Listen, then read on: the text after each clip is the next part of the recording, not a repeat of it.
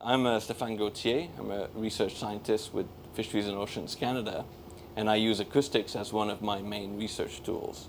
I'm here on the RV Falkor as part of the mission on the Barkley Sound, and we see here the EK60, which is one of the main echo sounder that we use on this, on this vessel. Uh, the EK60 has transducer, which are mounted on the gondola just on, under the vessel, and it sends pulses of sound in the water that are reflected by anything it encounters from small critters to the ocean floor.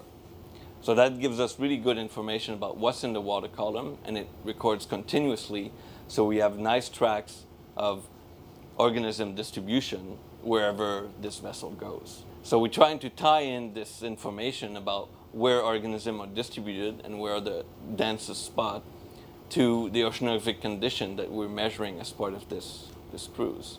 And we're taking lots of measurement. We're taking water sample to measure oxygen levels, dissolved oxygen level, nutrients, carbon, and we're taking measurement on temperature and salinity and also to a moving vessel profiler. So we're getting very dense information about the whole area and we're going to try to tie this into what are the organisms doing and where are they distributed. You know, a big part of this mission is to understand the pathways, where the, you know, the current, where the water mass and what's driving them, where they're coming from, and what, what, where the water's moving.